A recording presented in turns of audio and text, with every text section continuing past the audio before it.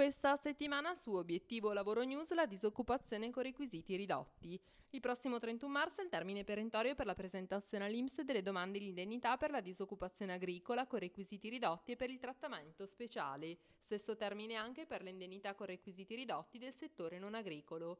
La disoccupazione con requisiti ridotti è una prestazione a sostegno del reddito del lavoratore che, avendo svolto lavori brevi e discontinui, non riesce a raggiungere il requisito di contribuzione minimo richiesto per ottenere l'indennità disoccupazione con requisiti normali.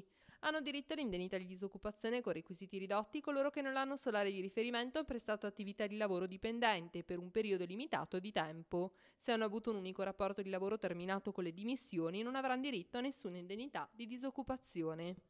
La domanda deve essere presentata alla sede IMSS più vicina entro il 31 marzo dell'anno successivo a quello in cui si sono verificati i periodi di disoccupazione. La domanda deve essere compilata sull'apposito modulo, accompagnata da tanti moduli quanti sono stati i rapporti di lavoro dipendente nell'anno solare di riferimento, corredata dal modulo per le detrazioni ai fini dell'IRPEF, compilato e firmato dall'interessato.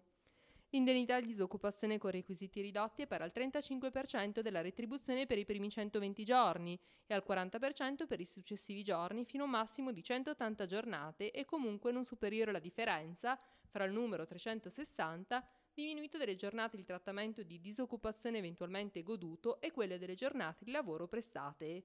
Per giornata effettivamente lavorata si intende il giorno di calendario in cui si è svolta l'attività lavorativa subordinata, indipendentemente dalla durata e dalla retribuzione percepita. E sotto la lente questa settimana il Master dei Talenti Neolaureati. È stata da poco pubblicata l'ottavo bando dei talenti non laureati della Fondazione CRT. L'iniziativa offre la possibilità di effettuare un periodo di tirocinio all'estero retribuito. Le 79 borse di tirocinio offerte variano dai 1.400 ai 3.500 euro lordi mensili. La durata dei tirocini è compresa fra i 6 e i 12 mesi e le destinazioni sono i 5 continenti.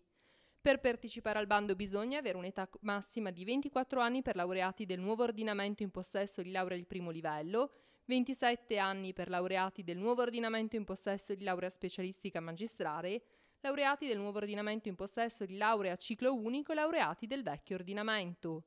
Inoltre la laurea deve essere stata conseguita presso uno dei seguenti Atenei, Università degli Studi di Torino, Università degli Studi del Piemonte Orientale, Politecnico di Torino, Università della Valle d'Aosta, Università di Scienze Gastronomiche e Accademie di Belle Arti. Le domande di partecipazione vanno presentate entro e non oltre il 28 febbraio 2011 a Fondazione CRT, progetto Master dei Talenti non laureati, via 20 settembre 31 10 121 Torino. Ricordiamo ai lettori di Obiettivo Lavoro News che potranno trovare copie della rivista presso l'Agenzia regionale del lavoro, ai centri per l'impiego di Aosta, Morge e Verres, all'ufficio relazioni con il pubblico a Palazzo regionale presso le biblioteche del territorio. Inoltre è possibile ricevere la rivista in posta elettronica iscrivendosi alla newsletter a partire dal sito www.regione.vda.it alla voce Lavoro.